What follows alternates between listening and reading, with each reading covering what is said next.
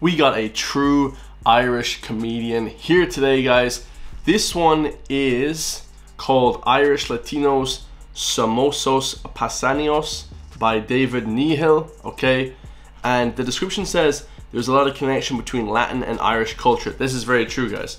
I often joke that Irish people were the original Mexicans. Okay, that's pretty funny. Now, of course, guys, we all know about the Irish helping the Mexicans during the you know war with America and stuff like that when they're trying to take over Mexico. The La, La uh, Patriciones uh, Battalianos, like that Saint uh, Saint Patrick's Battalion, where they helped fight back the Americans. So the Irish and the Mexicans and the Latin, Latina Latinos have an amazing heritage together. So this one should be hilarious, guys. First time ever hearing of David Nihill, but he's Irish, so this is gonna be hilarious. The only other Irish comedians I've ever reacted to on this channel are Tommy Tiernan and Conan O'Brien, but he's more like more American Irish. So and we're talking about true born and raised Irish. So this one should be amazing. Drop a comment down below. Let me know your thoughts on this one, and let's go. I am indeed from Dublin, Ireland, but I, I live in America now, so I identify as Latino. I had to start doing that to get through your automated customer service lines. Because the other options are no good, are they? Like, the minute you call up, they're like, thank you for calling. For English, press one. I was like, I don't want to be English.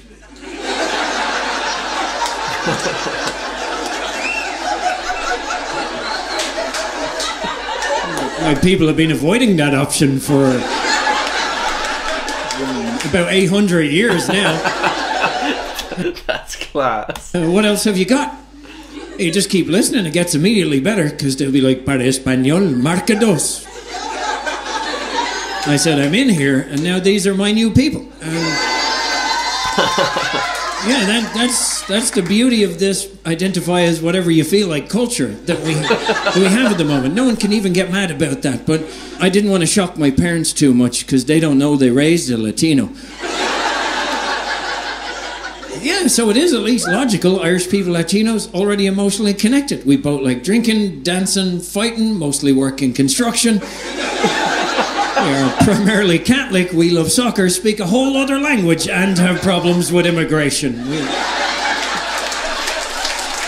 All those things, are very, very true.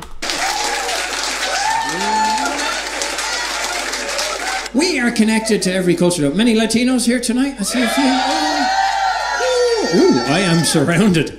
Eh, Vamos a hacer el show en español. Sería mil veces mejor. Sí, y dejar los gringos por afuera.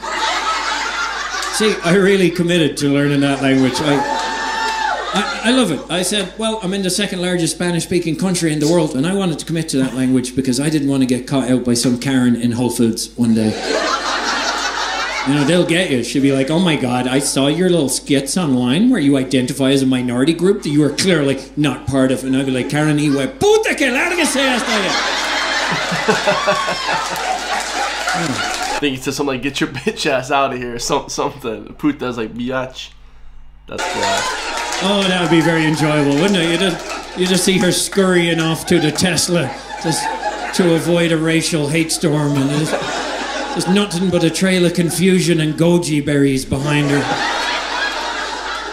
When Irish people first came to America and we were like, hello, help us starving refugees, America was like, all right, but you got to fight in our war against Mexico. We're like, well, that, that doesn't. Oh my god, no way is he gonna reference this, guys. That's such a quick. Bro, there's no way he's gonna reference that. So, this is called La, uh, the video that I reacted to like last year. It's blowing up right now, guys. It's called La Patriciones Battalianos, something like that, and it's St. Patrick's Battalion, and they had to fight against the Mexicans when they first came here, but then they just swapped sides, guys, and they just fought for the for the Mexicans because they saw how unfairly they were being treated. You know? starving refugees, America's like, all right, but you got to fight in our war against Mexico. We're Yeah. well, that, that doesn't sound like a great plan. Uh, have you got any other programs for the refugees?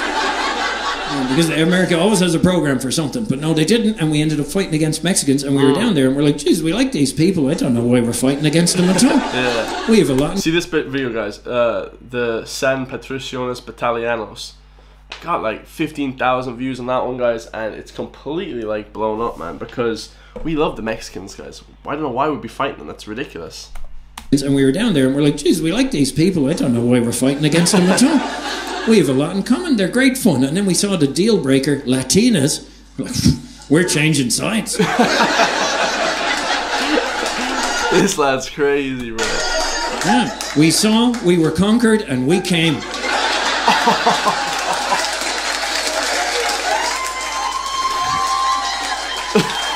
That's outrageous.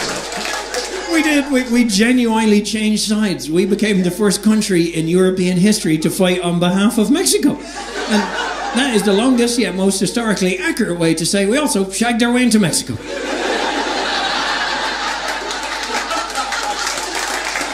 True. True. If you know your history, that group, they're called the San Patricios. There's a lot of cool things named after them to honour that connection between the two places. There's a guy called William Lamport from Wexford. Most people know him as Zorro. Uh, you didn't know that Zorro was a sneaky Irish dude. The legend of Zorro, based on a mildly illegal masked immigrant riding around doing nice things ahead of his time, and he was a skilled swordsman with a blatant disrespect for authority. Definitely Irish. Definitely. Definitely. We, we left a bit more modern evidence. Uh, you just go on Google Images and you type boxing, and then you add the word Canelo. and just have a look what comes back at you because Yeah, Canelo looks ridiculously Irish. I'm pretty sure he is Irish. I don't know. He looks like more Irish than half the people here, and then they say that he's Mexican or something. It's wild. and just have a look what comes back at you because you're going to see a world and Mexican boxing champion that's suspiciously red haired, Yeah. Pasty white skin, covered in freckles, and his real name is Barrigan, an Irish name. So, so if someone could get that man a 23 and me result, we can claim another true champion. We are we are connected those cultures. Do you know where they differ a little bit from Latin people though and Irish people? Latin people are not as sneaky as Irish people. Like you don't even have in Spanish. Do you know the word for sneaky? Where me Latinos at? Picaro. They're not agreeing with that over here. I heard an audible no over here. No, uh, oh, sospechoso, not really, doesn't translate. Isn't this amazing? That's the diversity we have in Chicago these days, where an Irish person is confusing Latinos with their own language. you know? but it's a bit of a sneaky trivia one because there's loads of slang words, but there's no direct translation from English Spanish to the word sneaky. And yeah, Sneaky. Yeah, that's like sly almost. Like like not suspicious. It's like sly. Um, uh, conniving, like cunning, conniving would be an English word for that as well. Conniving, maybe. Yeah. it's fantastically ironic because if you're a Mexican and you're kind of known for sneaking over the border. and there's no word for the thing that you're doing. I mean, are you just walking over an arbitrary line in the ground to, you know, visit your family or pick a few strawberries or maybe celebrate Cinco de Mayo, a festival created for you?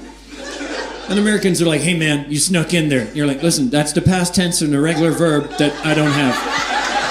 I'm just,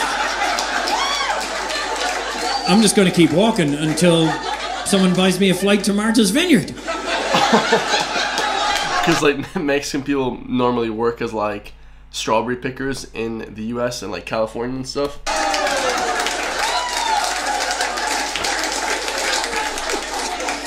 Oh, that was sneaky. That's fire, guys. David Knight Nihill. We're gonna check out his channel a little bit more. He seems absolutely fire. 200, 300,000 subscribers. Irish comedian in America. How have I only seen him right now, guys? 100 million views on YouTube. Never even heard of this guy. I'm not gonna lie. I'm not sure when he emigrated, guys, but it must have been a while ago because if and maybe he just started doing comedy in the US because I don't know has he ever done comedy. Yeah, so he's only been on YouTube a year and his stuff is blown up already. That's unbelievable, guys. I have to react to more of his stuff. He has a full that's just a segment from his full special that has 2 million views, but a lot of his stuff has a lot of different views, guys. So unbelievable to see that, guys. Um like I said 91 million 91 million views unreal guys. I have to react to more of his stuff for only eight videos or so.